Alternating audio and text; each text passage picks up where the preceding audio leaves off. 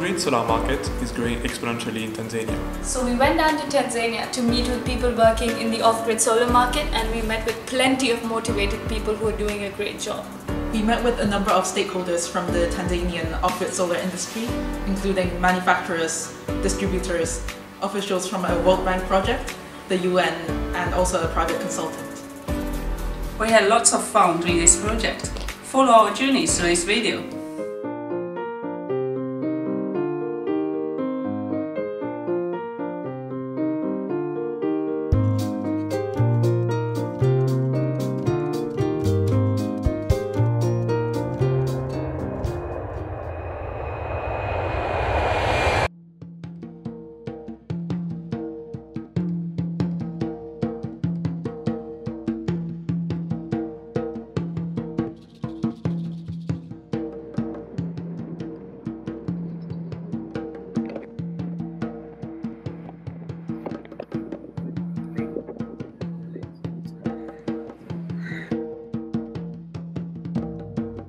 Oh, so there is a component of uh, machine learning Exactly. involved in Yeah, this. yeah, yeah. Okay.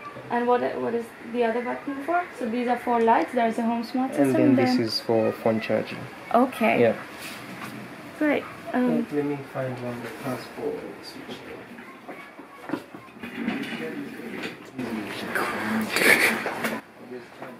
There was the female agent um, who, yeah, they ended up they ended up partnering with the, with the male agents that we had in the sense that you know the guys would ride motorcycles and they would go and like this is much more persuasive in making sales. Yeah, yeah, they're very really good.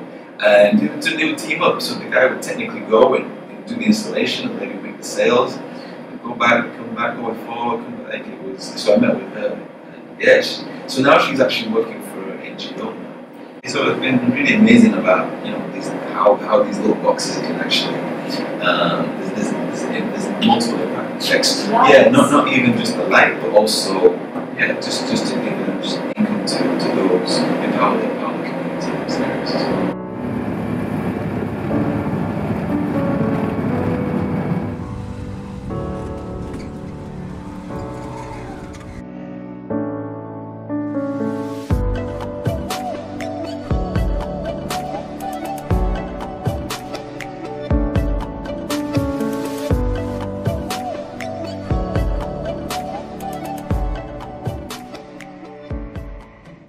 right.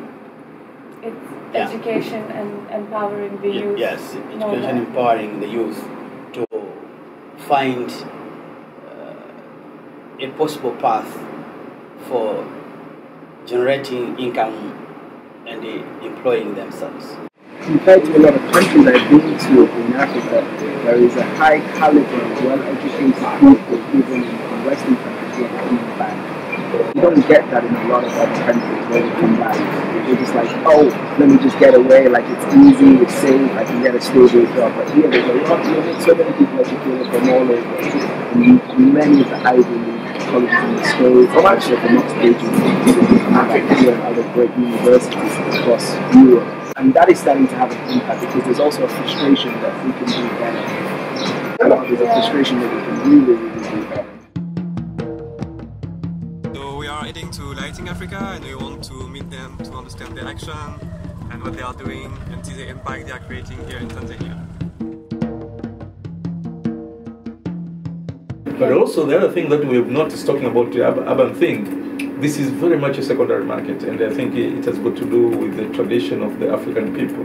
Okay. I mean, most of the people here, including myself, we buy things of our relatives who are in the rural areas. Yes. So also, uh, urban market for us or urban areas serve very much as a secondary market of people who purchase solar products for their counterpart. What I see as a gap is uh, there is still low awareness of you know of the capacity and the opportunity for solar power uh, as an alternative energy in, in, in, in urban areas.